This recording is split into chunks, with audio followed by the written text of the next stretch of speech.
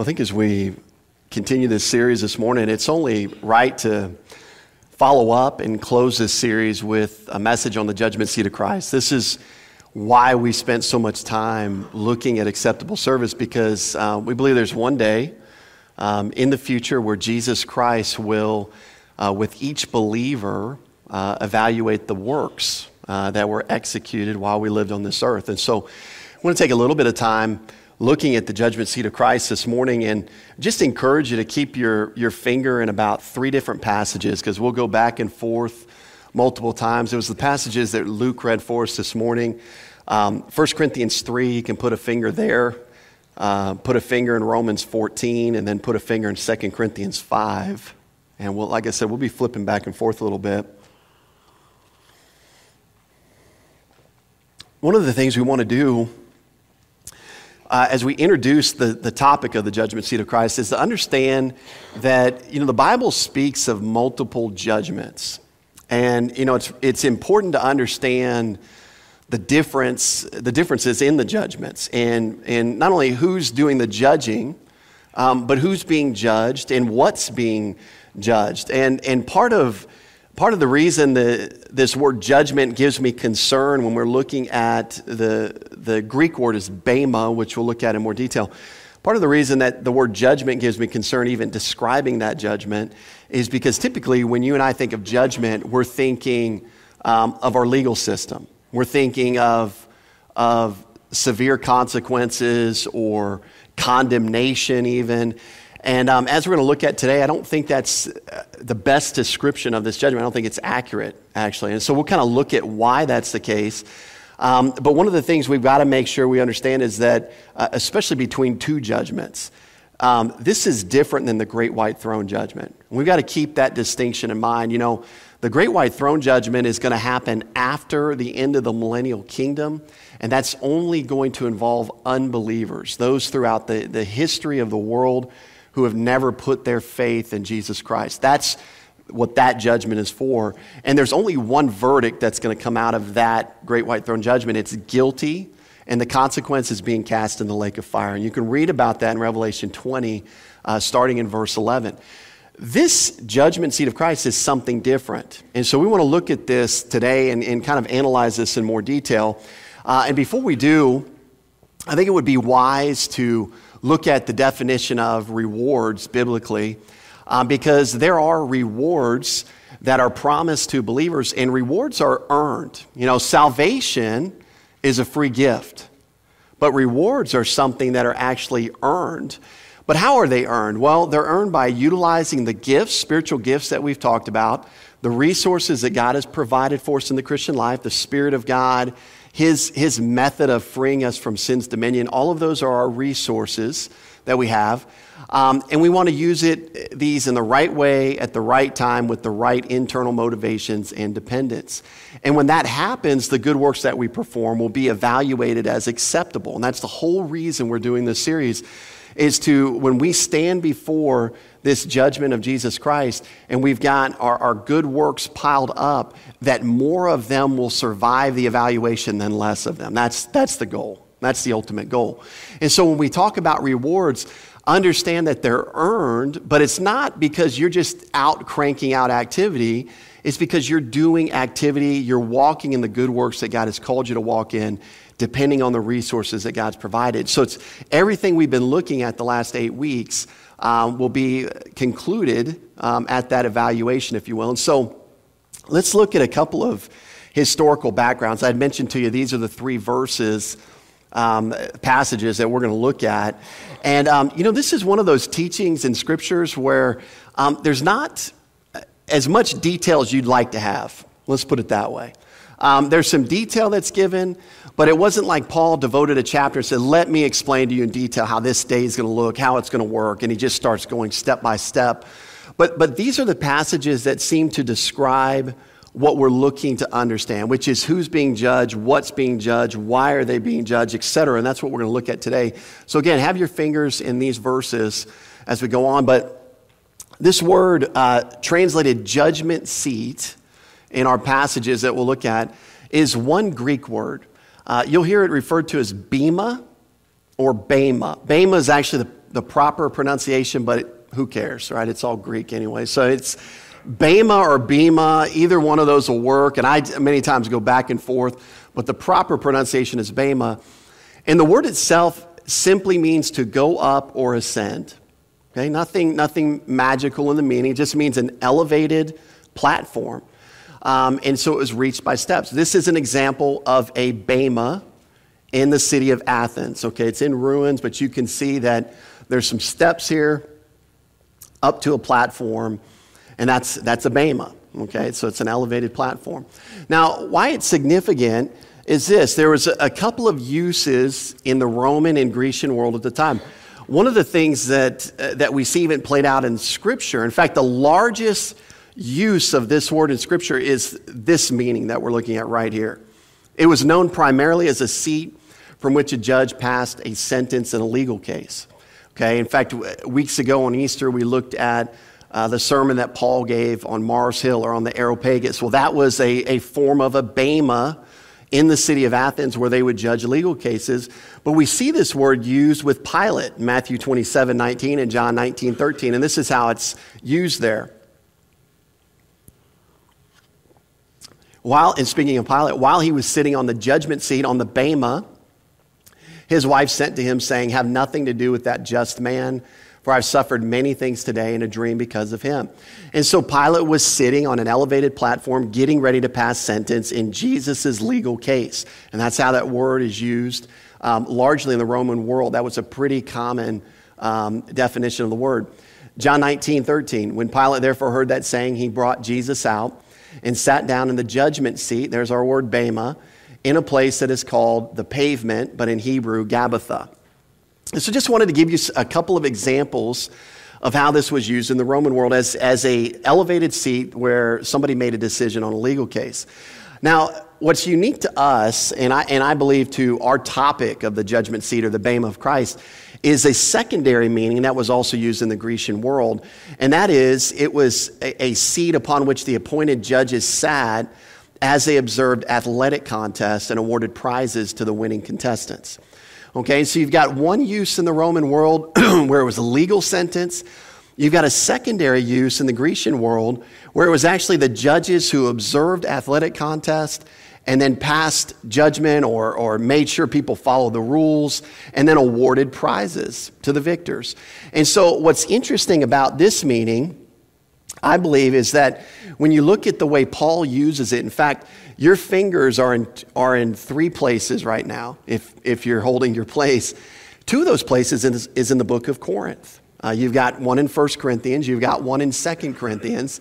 And I think it's significant that Paul um, uses this illustration to explain how this is going to work at the judgment seat of Christ. And so let's look at some of um, these uh, interesting connections, if you will. Um, what we've got to understand is that during Paul's day, there were four great Panhellenic, if you don't like that word, it's too long, Grecian, Greek, um, athletic games in Paul's day. There were four of them. In fact, one of them, you know, it's been going on since Paul's day. The Olympics happens every four years. It happened every four years, all the way back into, I think, 700 BC sometime. It's been going on. I might be wrong on that. Uh, don't quote me, but this was one of those games. What's interesting about it is there is another set of games athletic games, one of these fours, happened every two years in Corinth. It was called the Isthmian Games. Okay, and so there was this athletic games that happened in Corinth every two years where judges would elevate on a bema and then judge or evaluate the athletic contest as they went on. And so that's, I think, very important to understand because Paul was probably present you know, we, we find out in the book of Acts that his stay in Corinth was 18 months. And so, as we do the math and try to project where Paul was on, on timeline and history and when these Isthmian games happens, he was probably present for these games during his 18 month stay. And so, he probably had firsthand experience observing how this went. I believe this is why he goes to this as an illustration of the judgment seat of Christ. Um, one of the things that you you learn about the Isthmian Games, you know, the, the Olympic Games, we, we know all the events that happen there because we watch it every year on, on TV now. Imagine them thinking back in the day that the Olympics would actually be on something called a TV where the entire world could watch. But um, what's interesting about the Isthmian Games is they kind of had their own set of events, and many of those events focused on combat sports, boxing, wrestling. They had something called, uh, which I had never heard of until I started studying this, they had something called pankration. And you think MMA is new. No, man, this is, a, this is back. This is back in the Isthmian Games. This was like a, a violent hand to hand combat, no gloves, no pads, just go after it until somebody submits. And that was part of the Isthmian Games. And so you see that these games were, were big in combat. And so it's also interesting. We'll look at another passage later in 1 Corinthians 9. What does Paul go to as an illustration? He says, Well, I don't, I don't, I beat my body into subjection and I don't box with the air. You know, he's, I believe he's referencing these games. These were a, a combative set of athletic games. And so that, that's just some background on the Isthmian Games. Now, what's really interesting about these games is there's some uniqueness to these that we wouldn't expect in normal athletic contests that are unique even to the Olympics. That I, again, as we get into the judgment seat of Christ's passages, I think they're going to be helpful to make these connections for us. And so, what are some of those qualifications? Well, in order to participate in the Isthmian Games, you had to be a citizen. You could not be a slave. You had to have citizenship. You had to have pure Greek parentage. Pure Greek parentage. You had to be a free man. And then finally, you had to be a moral man, not a criminal. Now, that would eliminate most athletes in our day, probably, unfortunately. Um, but this was true of the Ith- Isthmian Games. Now, I don't know in a Greek or Roman culture how you determine morality. I mean, the standard, the bar must have been pretty low, knowing what we know about that culture. But that was, would be how they would determine who could participate in the Isthmian Games. Uh, another thing that's really, I think, interesting as we come out of these games, oh, just uh, in terms of summary, so citizenship, freedom, purity of life were requirements. And then obviously bodily strength and expertise were essential. I mean, you didn't just pull, uh, you know, the, the library nerd out of the library and say, well, man, he's a citizen. He's got all this. I mean, he had to have some kind of athletic prowess too to survive uh, performing against these world class athletes. And so all of these things had to come together in the participants. Here's what's really interesting, which I think makes it unique amongst other games. Do you know that each contestant that participated in the Isthmian Games, they had to be involved in 10 months of rigorous training under the direction of the judges. Isn't that unique? That, that doesn't happen in our games. You don't, you, don't, you don't train with the judges, you train with your coaches, right? And everybody's got their own personalized coach. You know, even like USA Gymnastics, they've got a coach of the team, and then each one of those girls have their own personal coach, right? You, you, you, you don't get trained by the judges. You're getting trained by the coaches. Well, in the Isthmian Games, they would have 10 months of rigorous training that the judges put them through.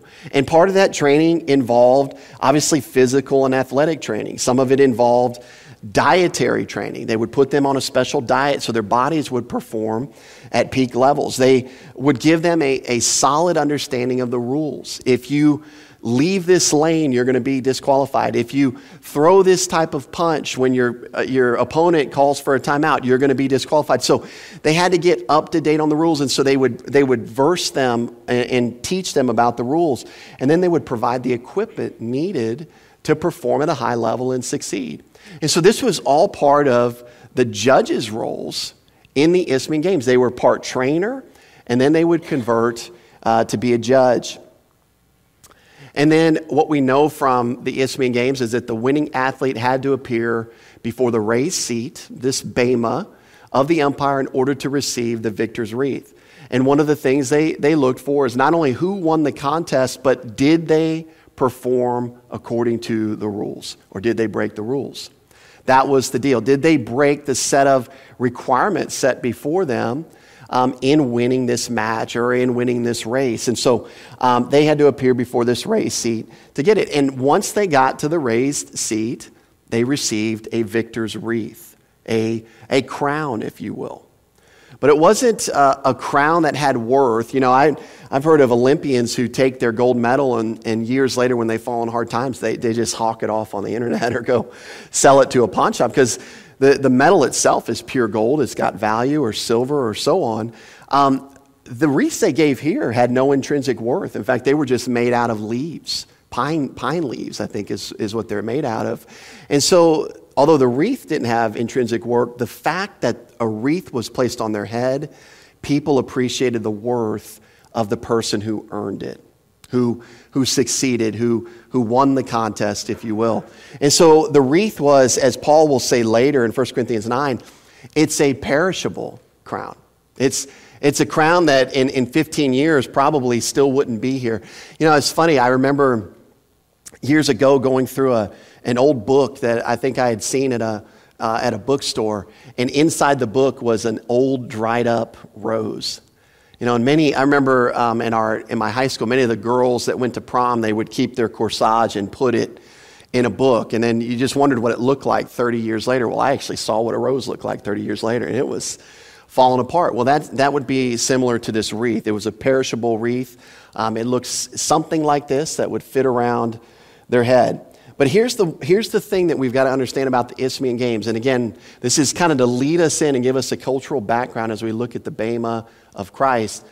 Here's what's true the judge rewarded the winners, but he did not whip the losers. He didn't sentence them to hard labor, he didn't punish them. You know, imagine if you went to the Olympic Games, and as the, the three people who are standing on the podium, and you got first place gold, you got second place silver, you got third place bronze, they're playing the national anthem of the first place winner. And behind the scenes, the other nine people who were participating in the race, the judges were out back beating them into a coma. That would make headline news, wouldn't it? I mean, that wasn't the issue at this judgment seat. The issue was not punishment or condemnation or hard labor or forced servitude. No, the loss here was a very uh, real loss. They didn't get rewarded, they didn't get the reward that they could have gotten. So imagine, I mean, we, we see stories of heartbreak with Olympians all the time, don't we? Because they've trained and trained and worked and pushed their body to such limits. They've qualified in every way possible. They arrive for the Olympic Games. They're ready to perform. And the practice before they perform, they twist their ankle and they can't participate. And your heart breaks for them. You know how much they've been through. So there is real loss there. It's just not punishment in the way that we think of, of punishment. So, how does that help us as we transition? To the judgment seat of Christ or the Bema of Christ. And I think what we need to do is answer the question first who is being judged? Is, is this a judgment for unbelievers and believers? Or is this just a judgment for one or the other? Well, turn with me uh, to 1 Corinthians chapter 3.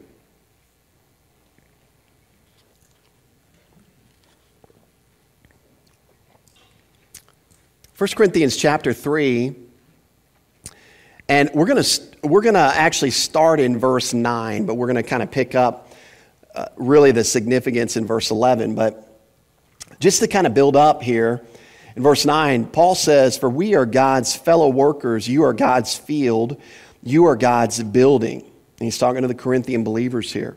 Verse 10 According to the grace of God, which was given to me as a wise master builder, I have laid the foundation and another builds on it, but let each one take heed how he builds on it. Verse 11 For no other foundation can anyone lay than that which is laid, which is Jesus Christ. Now, if anyone builds on this foundation, okay, and we'll keep reading that passage in a second, but I think that gives us an indication who is building on this foundation, who is going to have their works evaluated. It's people who have the, their foundation is Jesus Christ. In other words, it's believers. And so um, we're going to see that from uh, some other passages too, but it's clear that it, we're not talking about unbelievers when we talk about the Bema of Jesus Christ. We just read 1 Corinthians 3 11 through 12. They're building on this foundation, this one foundation of Jesus Christ. In other words, they're saved. These are, these are saved people that we're talking about. If there's any doubt, look at what happens at the end of this evaluation in verse 15. If anyone's work is burned, he will suffer loss, but he himself will be saved. so as through fire. And so, no matter what the outcome for each one of us is at the Bema seat of Christ, no matter how many works stand the test of the evaluation, rest assured your salvation is not based on your works. Your salvation is based on the foundation of Jesus Christ. In fact, has anyone ever seen a house completely burned to the ground? The walls aren't there, the toilet's not there, the kitchen sink's not there, the studs uh, in the bathroom and the bedroom aren't there. But what typically remains? The foundation. And so that's going to be the case even at the, the Bema. And so there's some encouragement there, but understand that these works are going to be evaluated. Now, I want you to also notice, uh, we're going to go to the other passages now. Go with me to Romans 14. Romans 14, 10, and 2 Corinthians 5:10. And again, we're just trying to uh, establish the case that the, the Bema of Christ is for believers. It's for believers. So, Romans 14 uh, 10, Paul writes this, but why do you judge your brother? Okay? And he's not talking about a familial brother, he's talking about a brother in Christ. Why do you judge your brother? Why do you show contempt for your brother? For, notice that next word, we shall all stand before the judgment seat of Christ. Okay? So it's we, it's, it's something that Paul includes himself with these believers. We all. So, how many believers are going to appear there? All of us. All of us, along with Paul, along with Peter, along with any other believer in the church age that you can think of, they're going to be there as well. They're going to be there that day. So he includes himself with believers. We see the same thing communicated in 2 Corinthians 5.10, where he says, um, actually go back to verse 9, in 2 Corinthians 5. Therefore, we make it our aim, whether present or absent, to be well pleasing uh, to Him, for we must all appear before the judgment seat of Christ, that each one may receive things done in the body according to what he has done, whether good or bad. And so we also see in both passages the use of the word all. And so all believers are going to appear uh, at the Bema and have our works evaluated. And so um, I've kind of given that away a couple times, but what is being judged? Well, um, I think it's really clear. So we've, we've dealt with the who, we're dealing with the what now. I think it's really clear that what's going to be judged at the Bema is our good works. And do you know that, that theologically, almost uh, every Orthodox, well, that's probably too, too, too big of an all inclusive word. But do you know that theologically, most Orthodox Christians would agree with the statement that our good works are what's being evaluated at the judgment seat of Christ. But have you ever found that it just in talking to people practically, do you know what, you know what tends to creep into that day? You know what tends to creep into people's thinking in that day? Is the sins of believers. As if, as if there's going to be some condemnation or judgment or evaluation of sin that we've committed in our life. And so I want to just encourage you as we look through these passages, see, see how focused Paul is on explaining what's going to be evaluated there. It's, it's not our sin. And, and the reason we know that is because our sin has already been judged. When did that happen? Well, that happened 2,000 years ago when, when a man named Jesus Christ climbed the hill of Golgotha and died for your sins for you. See, he's already paid the penalty for your sins. And if Jesus Christ said, It's finished, I've paid it all, what penalty would remain to pay for you? What would, the, what, what would be left for you to pay? And so we want to just carefully look at the scriptures here uh, as it relates to what is being judged. And I think what we're going to see is it's pretty clear that the believer's works are being judged. What I want to do is I've kind of got those out of order. I want to look at 2 Corinthians 5 10 first. Uh, so, so keep your finger there or put your finger there, and, and then put your other finger in 1 Corinthians 3, because we'll kind of uh, go back there in a second. But 2 Corinthians 5.10, again, just looking for what's going to be judged for the believer. What's going to be evaluated at the Bema. 2 Corinthians 5.10, for we must all appear before the judgment seat of Christ, that each one may receive things done in the body according to what he has done, whether good or bad. Okay? So it's clearly things done in the body. It's it's works, it's actions. That's what we're looking at. We'll come back and deal with the good and bad comments in a second. But just understand that that's what's going to be evaluated. What is done in the body? What are we doing? And then jump back with me to 1 Corinthians chapter 3 and let's look at it there as well. 1 Corinthians 3:11 Again, he says, For no other foundation can anyone lay than that which is laid, which is Jesus Christ. Now, if anyone builds on this foundation with gold, silver, precious stones, wood, hay, and straw, notice this next comment each one's work will become clear. For the day will declare it, because it will be revealed by fire, and the fire will test each one's work of what sort it is. So, what's being evaluated there? I mean, he repeats it twice. Each one's work, each one's work, their, their activity. And this is what we build on the foundation of Jesus Christ. Verse 14 If anyone's work which he has built on it endures, he will receive a reward. If anyone's work is burned, he will suffer loss. But he himself will be saved, yet so as through fire. And so you see that word work repeated three or four times in that passage. It's clear that that's what's going to be evaluated. Now, here's, here's what's interesting about 1 Corinthians 3 is, is simply this these are all good works, at least in the believer's mind.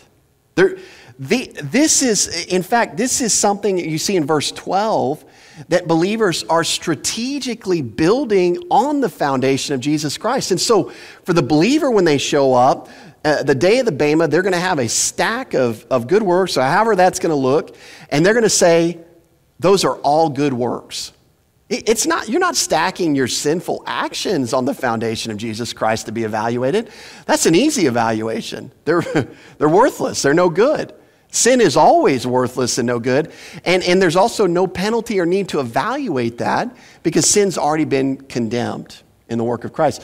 So we've got a stack of good works that you and I are building on the foundation of Jesus Christ. We think that they're all good, but what ends up happening? They're evaluated. Well, who's doing the evaluation? We're not doing the evaluation. Jesus Christ is evaluating. And he's evaluating what? Well, we see from the passage, he's evaluating the quality of the works, the material. You might say the source of these good works. I mean, they all look good to us, but are they all going to be acceptable? See, that's the whole reason we're doing this series. That's, that's the whole reason, because if we think that our Christian life is just about stacking and piling up good works without any concern to source, without any concern of depending upon the Lord, without any discer- concern about trusting in His resources, that's all our stack is going to be. And the second He takes an evaluation tool to it, it's, gonna, it's not going to stand the test. That's, that's a problem. And so we don't want to show up on that day with that mindset, not aware that that's what's going to happen. And so, while salvation is a free gift, rewards are given on the basis of one's uh, faithfulness in the Christian life. And what do I mean by faithfulness? Again, uh, it's not just doing things, it's faithfully executing the good works that God's called you to in Christ Jesus, created you for, utilizing the resources at your disposal, not doing them in your own strength, not just going through the motions because that's what your Christian friends do, but actually being mindful of what you're doing. Each and every moment of your life, desiring to be in fellowship with the Lord. And this is what we're talking about. And so, uh, although it's a gift, there takes some, some active faith to be faithful in the Christian life actively choosing to trust the Lord. We're not going to, in default mode, walk in the Spirit. We're going to have to actively trust in the Word of God and the promises of God and the Spirit of God to do so. And so that's an active faith that we're talking about. In fact, there used to be a sign in, in regards to this quote, it's kind of funny, um, at Dallas Seminary in the registrar's office, and it, would, it said, Salvation is by grace, graduation is by works. So, you know, get your grades in kind of deal. And so, um, in, the same, in the same way, similar way, salvation's a gift, but rewards are earned. Rewards are earned by the quality uh, and the source from which you live your Christian life as you engage in good works. What's equally clear here is that the believer's sins are not being judged. You're not going to find the believer's sins being brought up uh, in terms of being judged. Why is that? Well, the daily double, right? Those of you that watch Jeopardy, uh, some of the younger people may not know that game show on TV, but um, double jeopardy. We, we have this concept in our legal courts. And what is the concept? That once uh, somebody is found innocent of a crime, they can never be tried again. You can't be tried twice for the same crime. And so our sins were dealt with on the cross of Jesus Christ. That, so that penalty has been paid. That crime has been satisfied. That consequence has been fulfilled. So, what consequence would, re, would remain for our sins? I mean, do we believe that Jesus died for our sins, past, present, and future? And so, if he, if he paid for all those sins, what consequence could be left for us at the Bema? And, and the answer is, is none. Otherwise, we would have an unjust God who's executing justice multiple times on the same crime. And you know, one of the great words of the Bible, although it's a long word and you might not remember what it means, it's a great word. It's the word propitiation, propitiation, depending on how you pronounce it. But regardless of how you pronounce it, it means that God was satisfied. His wrath, his justice, was satisfied in the person and work of Jesus Christ. This is why we, we appear before the Bema. We're not fearing whether or not he's going to cast us into hell. That's not even a, that's not even a possible outcome at the Bema seat of Christ. In fact, he goes on to encourage us in 1 Corinthians 3.15 that even if your work is burned, you're going to suffer loss, but you yourself will be saved.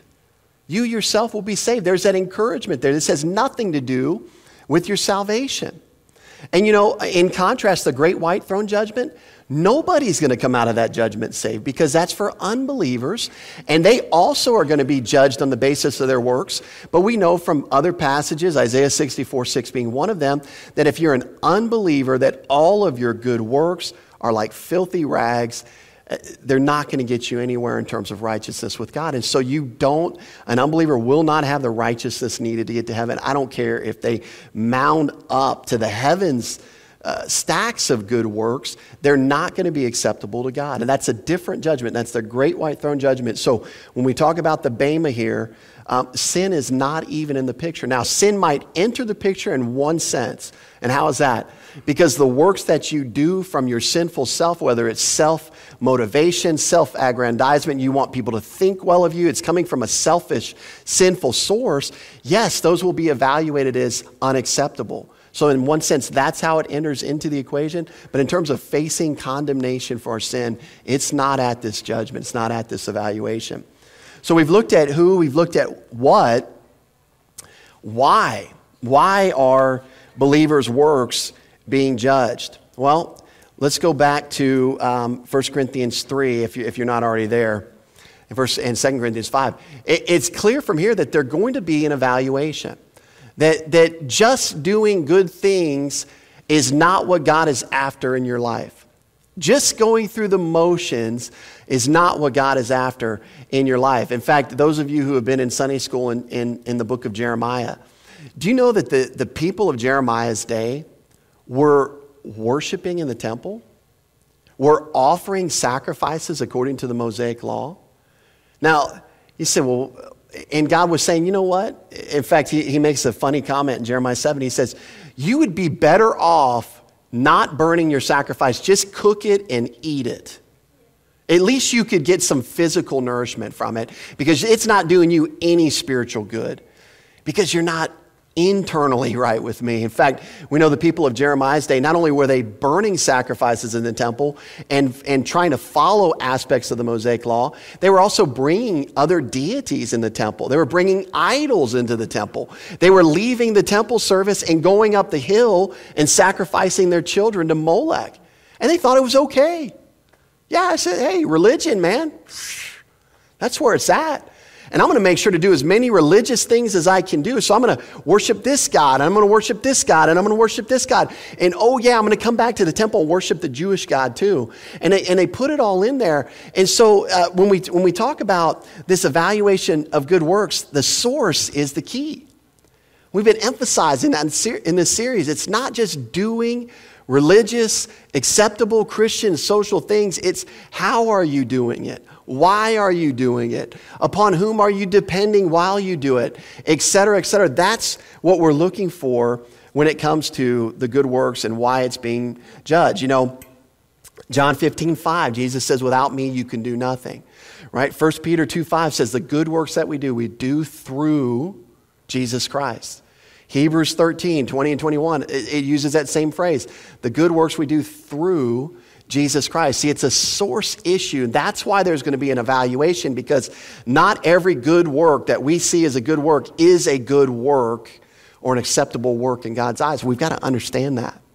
And I hope it helps us be more mindful in, in why and when and how and what is our motivation when we do things in the Christian life.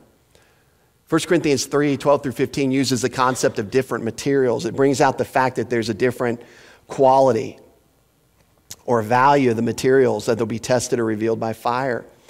And, and this is clearly more than just are good works present. Good works are present.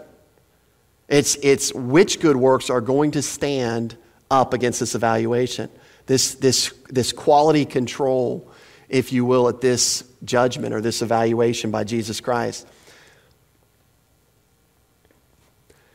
2 Corinthians 5.10 uses the word good and bad. Let's, let's go back over there. I think that's uh, worthwhile looking at again. 2 Corinthians 5.10.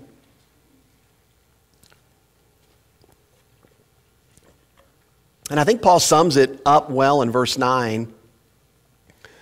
He just says, Therefore, we make it our aim, whether present or absent, to be well pleasing to him. Now, he's talking about specifically being present with the Corinthians or being absent from them, but you see his mindset as he lives life, wherever he's at geographically, whatever's going on geographically or circumstantially, our goal is to be pleasing, well pleasing to him.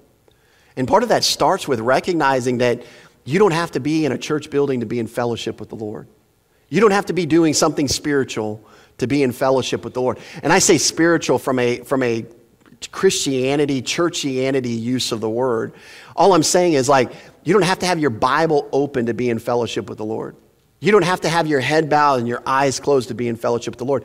You can be in fellowship with the Lord when you're washing dishes, when you're cleaning a pot and pan, when you're changing a diaper, when you're going through the, the millions of mundane things that we do on a daily basis in our life, don't separate the spiritual from the mundane. It's intertwined. And you can enjoy the Lord in whatever you're doing, even studying and taking exams, you know, for all these college and high school students in here. I mean, I know that stinks, but you can be in fellowship with the Lord even when you're taking an exam. And go figure. How cool is that? And so it, this, this is not what we're talking about. So it, it's, but in verse 9, he says it's, it's our aim to be well pleasing to him no matter what's going on. And then notice verse 10. Again, for we must all appear before the judgment seat of Christ, that each one may receive the th- things uh, done in the body according to what he has done, whether good or bad. And so, what is he talking about there? Is he talking about sin? Um, I don't believe so, because the word that's translated bad here uh, means unacceptable or worthless. And it, and it was used of rotten or spoiled fruit. And so, if you, even if you take the, the idea of fruit bearing, okay, God produces the fruit. John 15 tells us we simply bear the fruit. But as you talk about fruit bearing, imagine stacking a, a, a, group of fruit, your service, your good works before the Lord Jesus Christ on judgment, and He's going to evaluate which one of those are ripe and good and which ones are spoiled or rotten. That's the evaluation that we're looking at. And you know, many times there's certain fruit that from the outside it looks really, really good. And you know, so many times that, you know, even in our life, we may put a, a good work up there. We may not actually think this, but we're like, man, that, I think that's going to last. That looks pretty good. And you don't know there's like a worm crawling through the middle of it. It's nasty, it's rotten from the inside because your motives weren't pure. Or, or some other factor. You weren't depending upon the Lord's resources. You were trusting in your own self reliant strategies to pull off something. And although the whole church responded and said, Wow, what a great person, when you put that shiny apple up there, Jesus is going to say, there's, there's a worm in that one. Sorry. That doesn't, that doesn't stand the test. And so when we talk about whether good or bad, we're talking about valuable. Is it good fruit? Is it rotten fruit? And I think sometimes uh, for us in our life, we, we may not even know. Uh, I think we, we, our aim is to be well pleasing, but that day will reveal what was done uh, that was lasting and for His glory. So, how does this work? Well, we've looked at a couple of things. Um, Ephesians 2:10, God desires for us to walk in the good works He's prepared for us to walk in. We've looked at that verse a number of times in the last few weeks. Um, we also see from Philippians 2 uh, that not only does God have good works that He wants us to walk in, but He's also, uh, He will give us the desire, the will, and the ability to do those very good works. And He's going to do that as we appropriate His grace, as we tap into His resources. And so, uh, more specifically, how do you look? How do you find that balance, right? Because I, I talk to people many times, and when they hear uh, this concept, well, the Christian life is just a walk of faith they say, yeah, you just got to trust God. You just got to walk by faith. You don't want to do anything unless you're trusting God. And the, the visual image that conjures up is, is of a, a, a person at home, uh, laying in bed in their pajamas, um, eating cold pizza, watching reruns of MASH, not doing anything, just kind of, um, that's an old reference, I know. Um, but, but not doing anything, just laying there. I'm just wait. I'm just trusting the Lord. I'm just gonna, I'm just gonna do. Uh, I, when as soon as the Lord moves me, I'll get out of this bed. But right now, I, I don't want to move because I'm just trusting the Lord. And I had an old mentor of mine who, who a young man actually told him that, and he said, "Well, you need to trust the Lord and and get your butt out of bed." And, and, in his case, he needed to start filling out applications for a job because that was what he specifically was trusting the Lord while watching MASH reruns, eating frozen pizza. He wasn't filling out applications for jobs, and he was just going to trust the Lord for a job. He said, okay, well, you can trust the Lord, but get out of your bed and start filling out some applications too. And so there's, there's this combination here. There's this source of, of walking in dependence upon the Lord, but also engaging in activity. And I think we see the, the combination here from, from Paul uh, a, couple of, uh, a couple of places. 1 Corinthians 15 10, he says, But by the grace of God, I am what I am. And his grace toward me was not in vain. But notice, but I labored more abundantly than they all. Yet not I, but the grace of God which was with me. You see what, you see what Paul just did there? He combined those two aspects of walking by faith, walking in dependence upon God's resources, but also appropriate activity that flows out of that dependence. You know what's int- really interesting about this passage when you look at the context? When he says, But I labored more abundantly than they all, you know who they refers to? The other apostles. that, that means Paul is, Paul is confident that, you know, if, if Peter's working 60 hour work weeks on this gospel thing, I'm working 80. And if, and if John is up around 75, I, I'm working 80. I'm, I'm laboring more abundantly than all. And, and just so that he reminds himself that it's not him, what does that next phrase say? Yet not I. What does that sound like? It sounds like Galatians 2.20. The life that I, I, yet not I, the life that I now live in the flesh, I live by faith in the Son of God. It's, it's not I, but Christ. And Paul had this, this understanding this, this energy where, and we see this next one he uses in Colossians. He says, To this end I labor, striving. And if you just stop there, that is the, the vision of much of Christianity. I'm laboring, I'm striving. It, I think the word labor or striving, one of those comes from the Greek word agonizomai. It's where we get our word agonize, agony. I mean, that's, that is working yourself to the bone. That's what we're talking about here. But notice his understanding. I, I, I, do labor, I'm striving, but how do I strive? How do I labor to the bone? According to his working, which works in me mightily. Do you know that a man or woman who's fully relying upon God is probably going to be a busy person? But they're not going to be doing it in their own strength. In fact, as they sit down to rest from the end of the day, where many of us just say, you know what, and, and I'm guilty of this too. It's been a long day, it's been a long week. You know, I've, I've done my ministry for the week and I just shut my cell phone off. I just shut the blinds.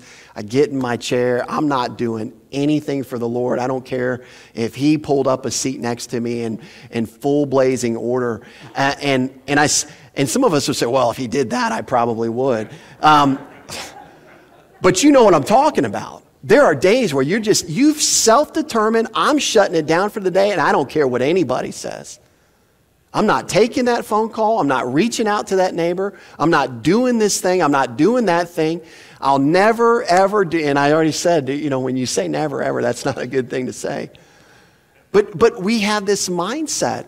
And you know, I believe that what the secret that Paul learned was as God leads, I'm moving. I'm moving, Jack. And I am. And I don't care how tired I am. And I don't care how worked to the bone I am. Because you know what? The same God that's calling me out to this ministry is the same God that can give me rest. The same God who's calling me out to this ministry is the same God who can give me resources to fulfill this ministry. Now, don't take me wrong. I, I believe that God, there are times where God calls us to a time of rest, where maybe that's not a lot of active service. So don't, don't, don't, don't misunderstand me that I, if you're inactive right now for whatever stage of life that, that, that God really wants to, to activate you. You know, sometimes even Jesus took time aside, didn't he? I mean, we see that in the Gospels to recharge. But there was also times that Jesus, in response to his Father, worked himself to the bone for others.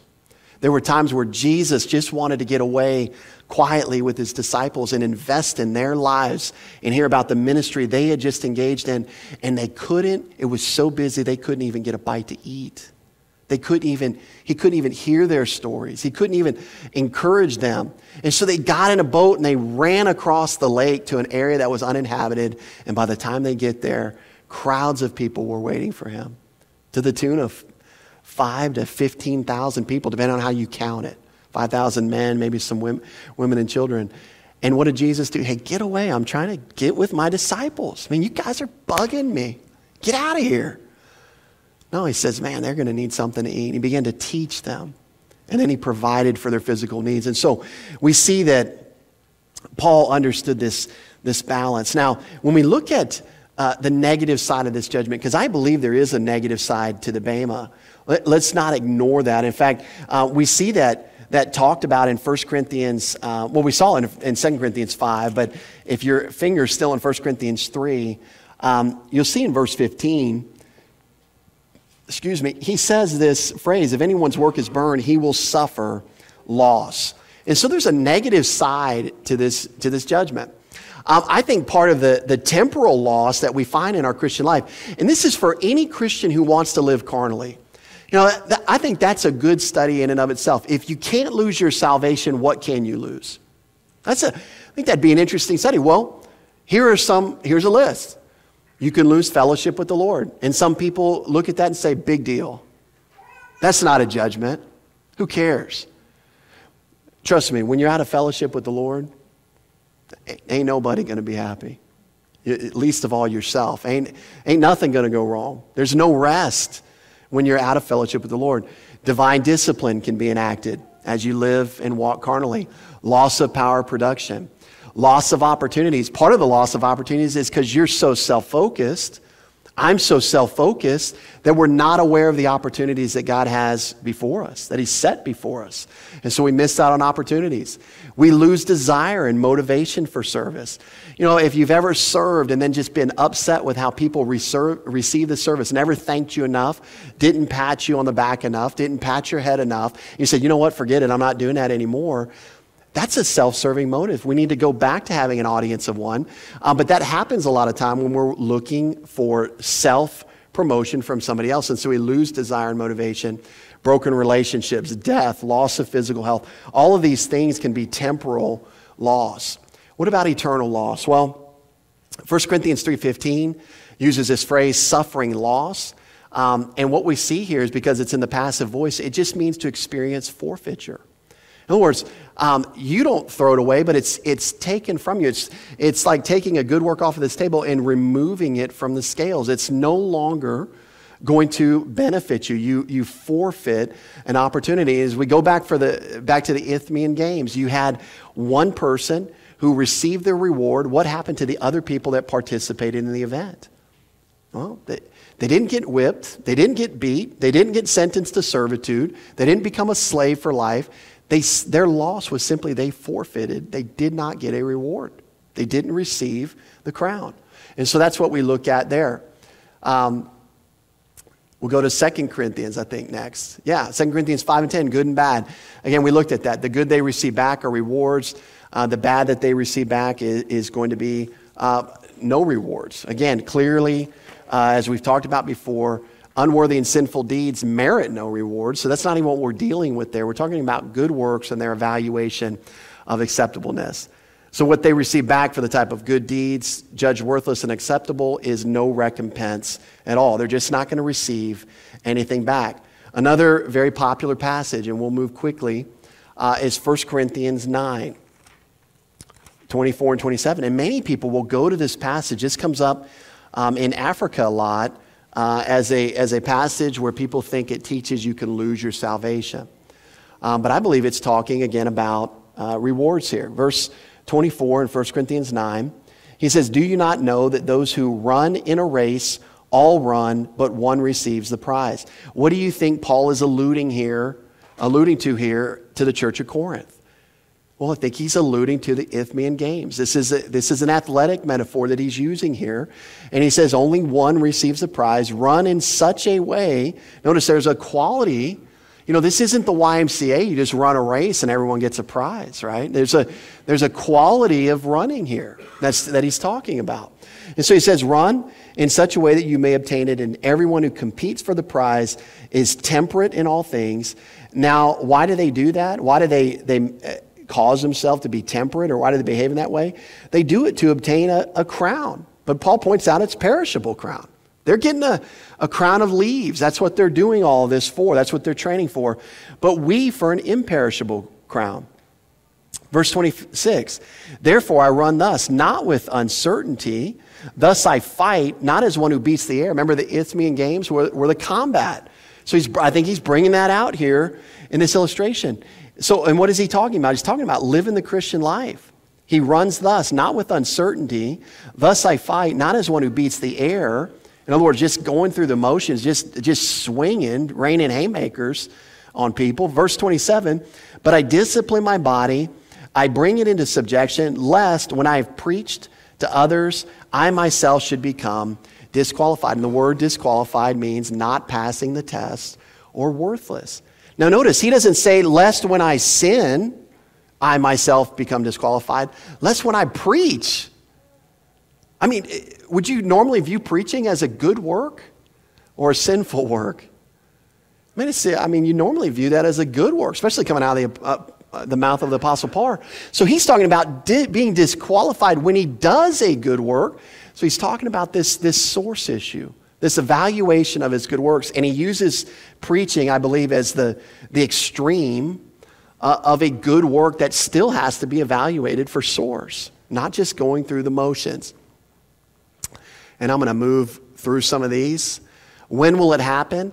Um, this is one of those things, again, it's, it's hard to put forth probably the exact timeline. There's some things that we can key off of. I believe, just in, a, in brief summary, it's going to happen immediately after the rapture and the resurrection of the church, as described in 1 Thessalonians 4. A couple reasons for that. Revelation 4, the 24 elders who represent the church, they have crowns, um, and that's immediately following uh, the rapture. Revelation 19:8, when the Lord returns with his church, she's already seen as rewarded. So it happens, I believe, sometime in between those two events. And then we also see in 2 Timothy 4 and 1 Corinthians 4, uh, 5 that the rewards are associated with that day uh, that day, that future day. So I believe it's going to happen after uh, the rapture of the church and before the second coming of the Lord. Um, and so it really brings us to our conclusion, which is this. And I don't think it, it, needs to be probably overstated in this case, but your life matters to God. If, if you're a, an unbeliever here today, your life matters to God so much that Jesus died for your sins and rose again that you simply have to put your faith in what Jesus did for you to get to heaven. It matters that much that he sent his son to pay that penalty for you. If you're a believer in Jesus Christ, man, we, we only have a limited time on this earth, don't we? There, there's a limited time on this earth. There's good works that God the Father has designed for you to walk in. Are you being mindful of that fact as you live your life, as you set your agenda for the day, as you walk through your daily uh, interactions with people? Are you aware of opportunities, human needs arising around you that you're uniquely gifted and able to meet? Do we understand that one day we're going to appear and give account for the good works and the source with which we executed those? And are we being mindful of that? That's my hope. That's, if you could ask me for my, my one hope, why did we devote nine weeks to this? Is that each one of us would leave uh, the building just further encouraged, further reminded to be mindful in all that we do, really emphasizing this aspect of being in fellowship with our Lord. Let's close with a word of prayer. Lord, I do thank you for your word, uh, and I do uh, just appreciate, uh, and I don't think we thank you enough for all the resources you provided for us uh, to live this life in such a way that's pleasing to you. And so, uh, Lord, it's our heart's desire to, to tap into your resources, to benefit from those, uh, and to live life uh, in a pleasing way, regardless of our circumstances, regardless of our geographic locale, regardless of our, our age, regardless of our health, uh, regardless of any of those things, that we would, where you've got us planted right now, that we would desire to live a life well pleasing to you and that we take advantage of your resources to do so. We pray these things in Jesus' name. Amen.